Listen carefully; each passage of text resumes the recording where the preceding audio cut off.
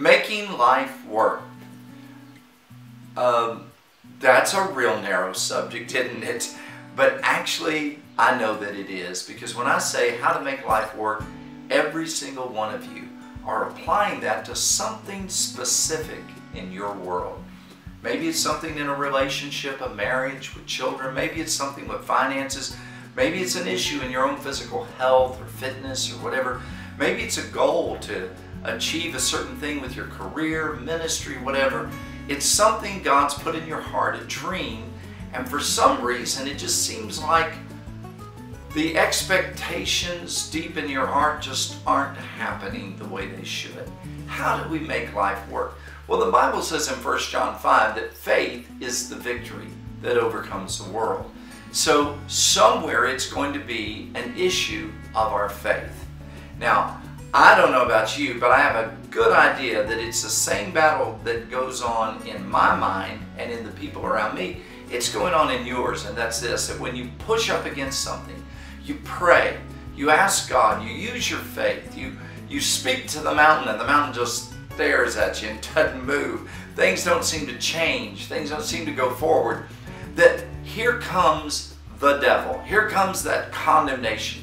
Here comes that negative energy right into your mind saying, something's wrong with your faith. You're not doing it right. You don't know what you're doing. You're always a failure.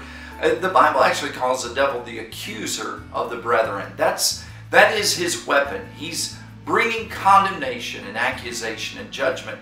And often he brings judgment to say that our faith isn't any good, that our faith doesn't work, that we're too weak in faith.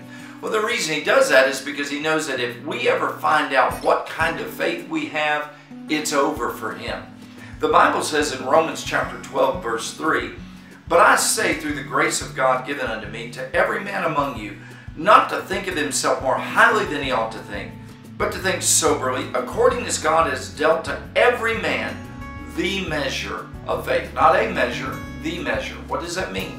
It means every one of us have received the same measure.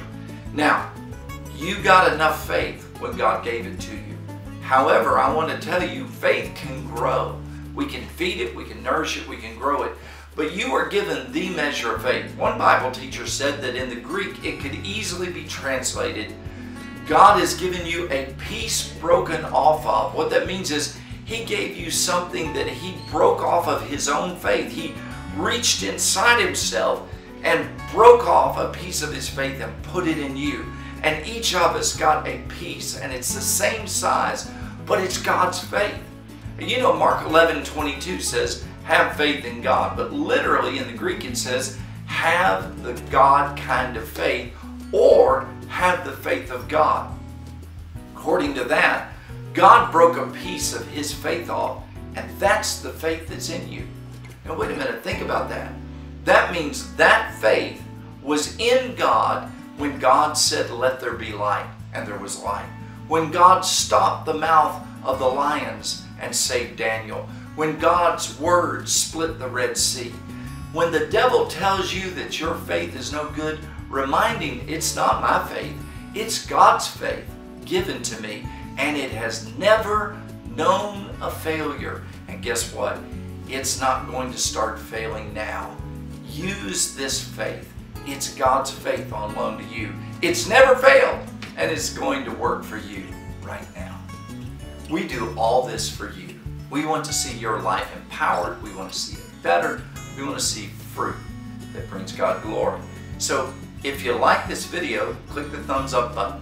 Tell us you liked it. But also, give us a comment. Tell us other things you'd like to hear us address, subjects, things that would really help your life.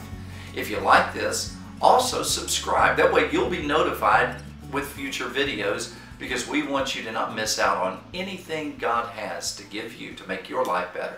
God bless you.